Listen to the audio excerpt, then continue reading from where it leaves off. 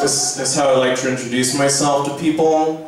Uh, Sigmund Freud has three distinctions of the personality. There's the id, the ego, and the superego. Like your instinctual self, your intellectual self, and your moral self. You know, like crazy, sexy, cool, like T- left eye, Chilli T-Boz. Uh, recently, I realized by myself that my I, my instinctual self is uh, Kunta Kinte from the miniseries Roots.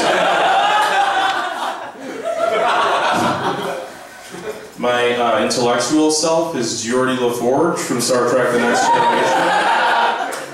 And my moral self is just LeVar Burton in a Kickstarter video. Reading Rainbow needs to be back on the air, it really does. I'm gonna try to be the next him, I think. um, I don't listen to the radio a lot, but when I do, uh, there's only like one station I listen to. I listen to K-Day. You guys know about K-Day? Hell yeah, she did like a nod. like a cool nod too, like a roll. It's my favorite station. It's old. It's 93.5 old school hip hop and R&B, and I love the music on there. But like the main reason uh, I listen to the radio is just for like the solid financial advice that I get. It's like a radio station specifically for poor people, and they know that. So like every commercial is just like, hey, do you need to pimp out your 92 Honda Civic? Because you already spent your cash advance? Listen up. No credit? No problem. Prior criminal record? Still not a problem. Complete misunderstanding of what it means to be fiscally responsible because you've been held down by an economic system that doesn't want you to succeed? We got you, fam. EasyRentToRent.com. That's a real website. They, they are really my sponsor. Um, I'm trying to get them to be my sponsor so bad. I think I could do it. There's been a lot going on in the news about how cops have been behaving. Not good. I don't know if you guys have been paying attention to the news for the last several hundred years.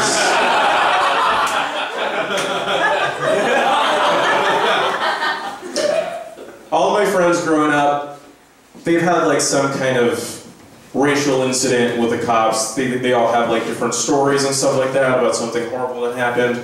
And like every week now, there's something else that happens in the news. And I'm a young black man, so like when I watch this stuff, I can't help but think to myself, like, why not me? like, what's wrong with me? Pick me, you know? I've never committed a crime in my whole life. Like, I deserve it, you know, at this time. Plus, I'm at an age right now where a lot of my friends are getting, you know, brutalized by the authorities. and, you know, I'm happy for them.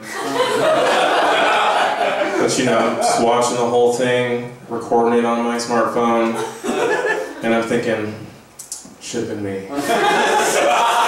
Always the witness, never the victim. You know? Excuse me, can you say World Star? How different would literally everything be if the Eric Garner video just had someone chanting World Star the whole time? That's a dark thought, and like, progress still would have been made, but it's just like, oh my gosh, we were so embarrassed. um, how much time do I have? Okay. this next joke is only one minute long. Just kill time.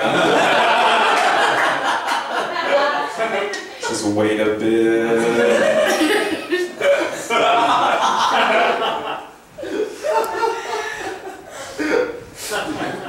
Okay. My uh, my favorite thing in the world are uh, prank videos that go wrong. Specifically, like prank videos in neighborhoods where they should not be pranking people. prank videos where it's just like some 20 year old kid. She's like, hey, my name is Connor. Today we're gonna go into Compton and we're gonna pull up people's pants. And then, and then Connor gets the shit beat out of him. And even though it's like some kid almost getting murdered, that's my favorite thing. That's my favorite thing. Black people hate pranks so much. You hate them. Like our entire American history has basically just been like one big prank. over and over. 40 acres in a mule, sight, three fifths vote. We got you. There's a camera You should have seen the look on your race.